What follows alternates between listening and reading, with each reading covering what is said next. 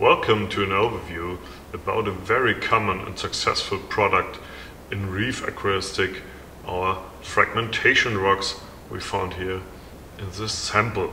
Uh, when we look closer to them, there are two sides. Um, on one side, it is a very successful ecological product because we're making over 50,000 of these rocks in one year, which means that all these corals don't have to taken out uh, of the natural reef. We can breed them at any point in the world. And uh, on the other side, uh, that means that we don't have to fly around them, around our planet.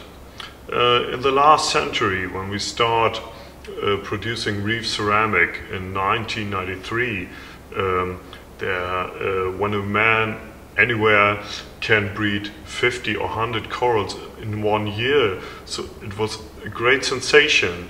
And now for all of us, it is absolutely normal that corals are breeding at any point in the world.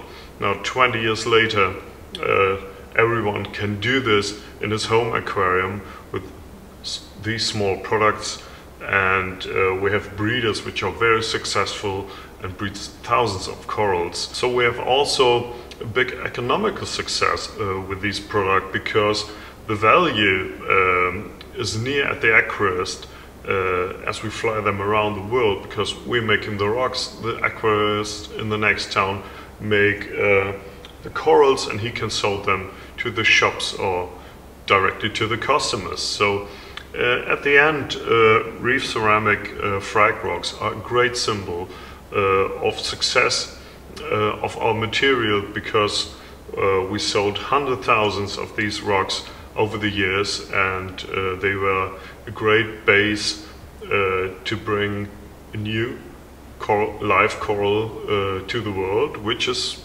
maybe in the next generation also uh, the base of living material for the next one.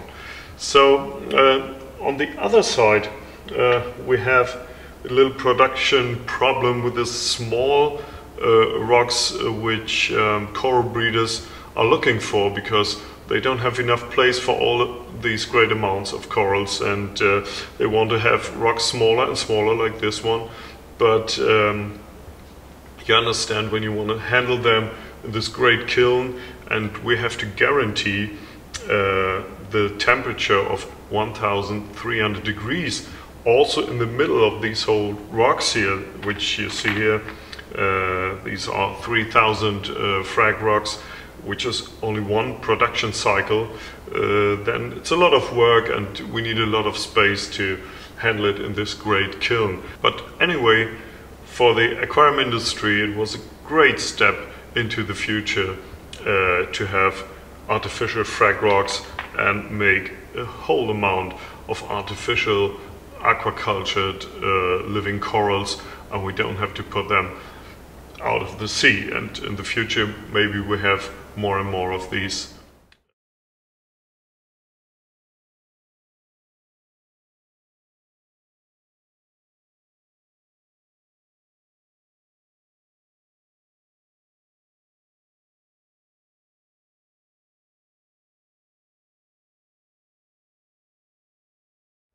Well, let's have a closer look at the different shapes and sizes of fragmentation rocks. First we found here a normal fragmentation rock. Uh, it looks like a real natural rock uh, with a hole inside, mostly 8 millimeters, and it has a flat side on the bottom so that you can uh, put him at any place in your aquarium and it stands alone. Also when the coral is growing, uh, the current don't blows these rocks away because they're heavy enough and they're big enough. Uh, the next one uh, are reef discs, which are very flat and have a little pin on the downside so that frag rocks like these, every time you use a grid to fix them, and you can put some more of these, but uh, they are swimming away, they are very light and that's why uh, you need this grid. Uh, it is very successful for uh, coral breeders because they can breed a lot of corals on a small space and it's easy to handle uh, the whole grid as each of these rocks.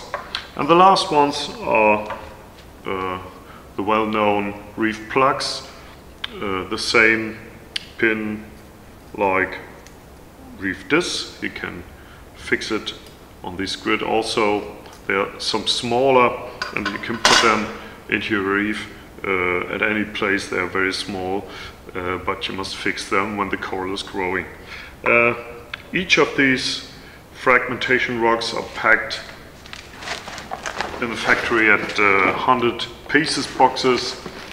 So it's interesting for coral breeders or uh, anyone who needs bigger amounts. But they are very successful and uh, I think it's good product.